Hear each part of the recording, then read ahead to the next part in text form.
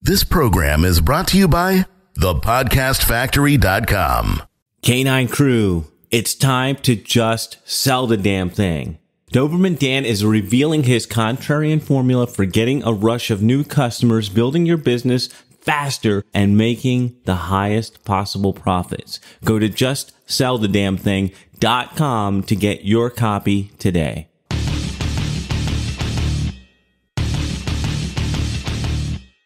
Prepare yourself for the uncensored, nothing held back, no BS reality of how business and life really work.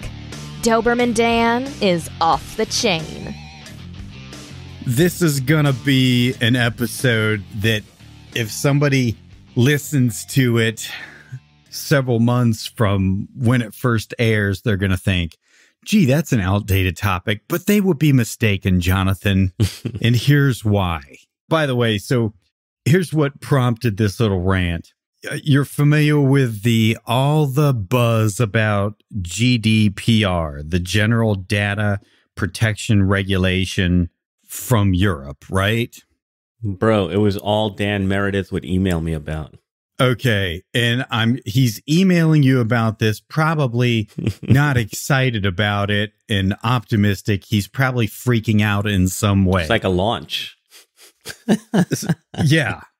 So and and and this is the reaction that I'm getting from people. They're freaking out. I'm like, oh my God, what do I gotta do to be compliant? And what changes do I need to make Hysterical. on my website? And oh my God, I gotta check. And now all these different companies are sending out emails, you know, all these email all these email kind of like drip, AWeber, all these shopping carts. We're GDPR compliant, and everybody's talking. Boy, we've been working round the clock and burning the candle at both ends to be GDPR compliant. There's there's people posting on Flakebook about it, scared to death, and asking questions.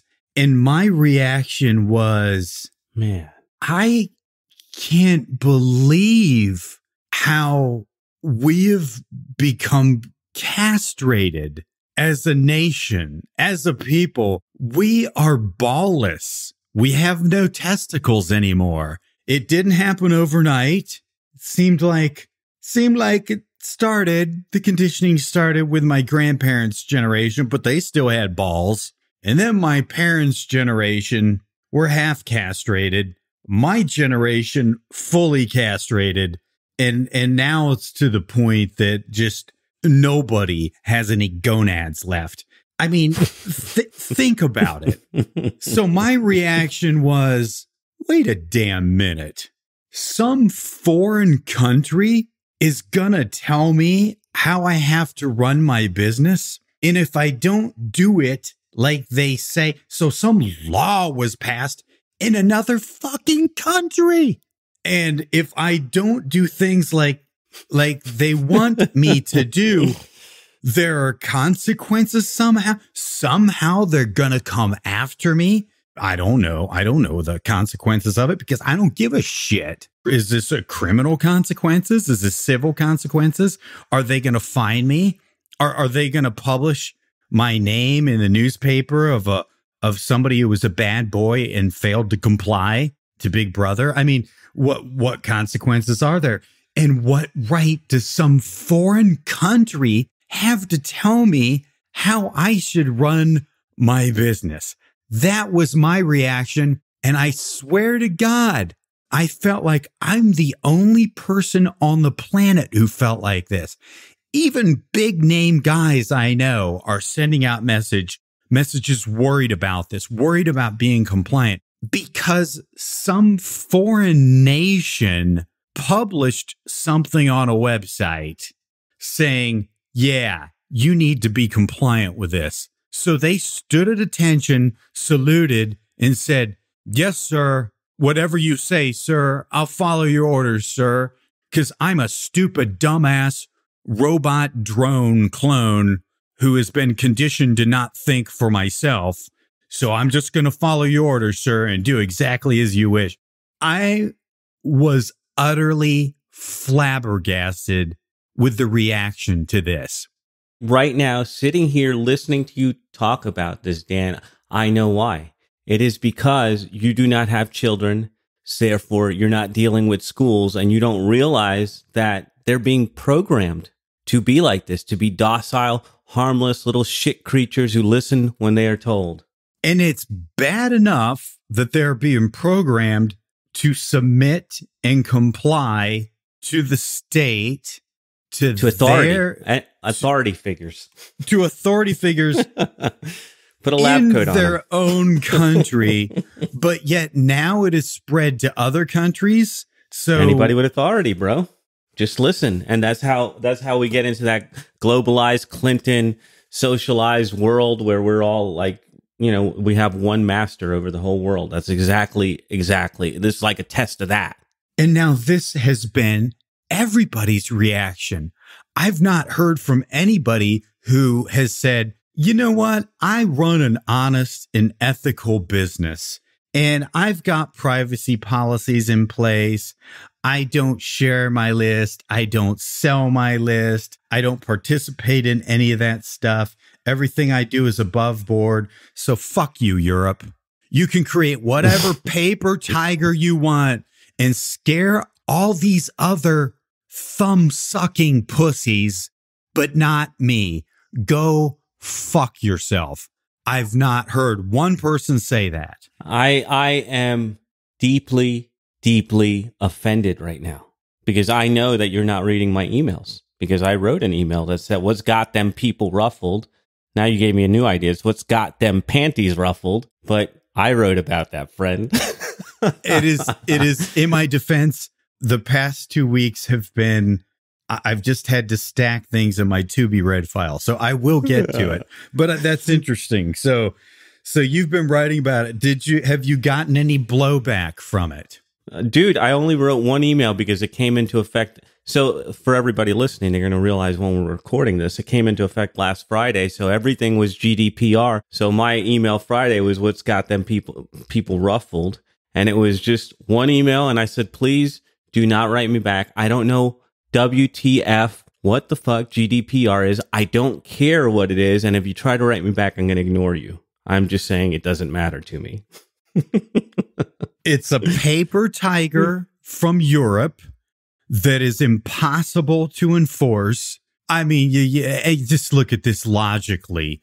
How many people in Europe are assigned to enforcing this? And it's some alleged rule that people worldwide have to follow. So therefore, it is only a paper tiger and you can ignore it. But this is just a perfect example of how easy it is to manipulate the sheeple. And, and almost everybody has been turned into a sheeple.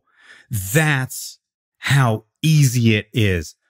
You create a document with no teeth whatsoever that is impossible to enforce and people will comply with it. Amazing, but true. I know a guy, and if I mentioned his name, everybody would know who this guy is because he was a legend in direct response marketing. And when I met him in 2002, I guess it was, or 2001, I forget, he said he had not filed a federal tax return in 20 years and he had Wow. no intention of ever filing one. And to the day he died, he never filed a federal tax return. Now, he did say occasionally he'd get letters saying, like, hey, we're checking to see if, you know, we still have your correct address on file. We haven't gotten a tax return from this tax year, which he just promptly ignored. And nothing happened for damn near three decades. Now, don't, Balls. don't, not, don't listen. Don't take this wrong. I just, Doberman Dan said when they're taking them in, in cuffs, taking away I- all their shit.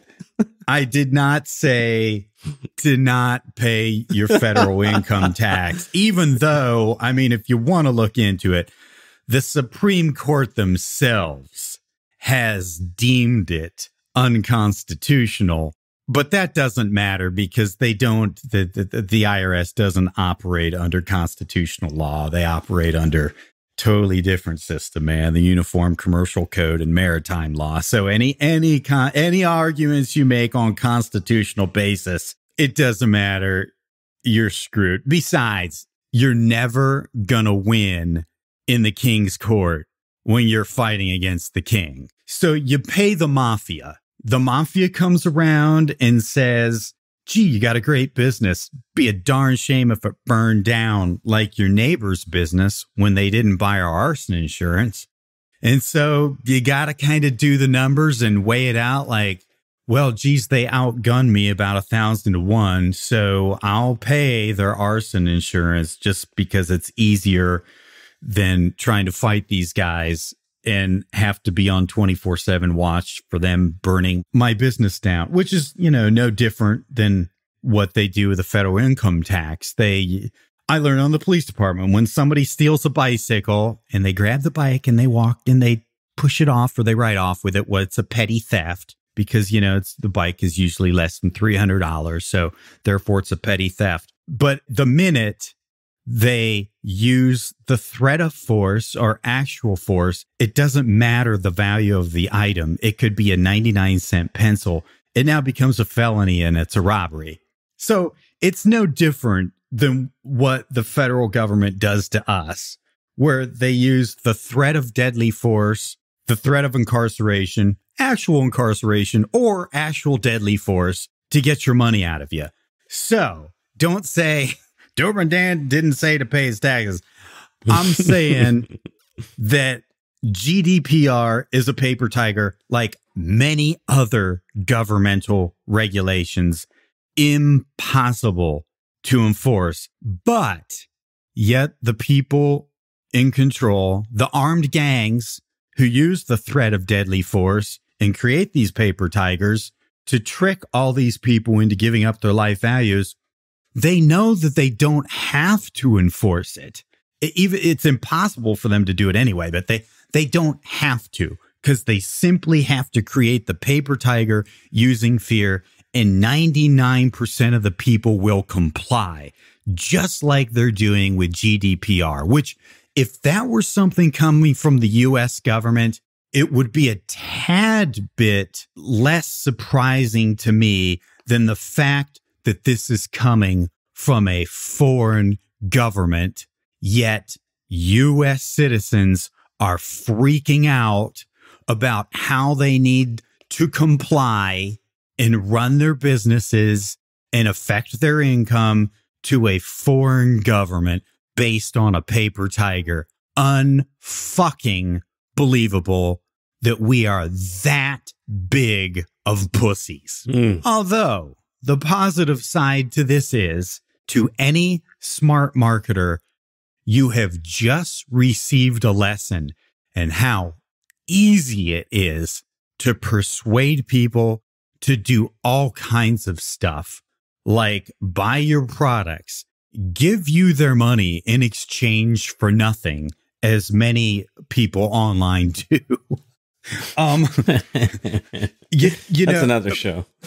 create, uh, create a cult of people who will follow you regardless of how inept, unethical, and, and corrupt and how much of a fraud you are. You can build a following because that is how much the people have become sheeple.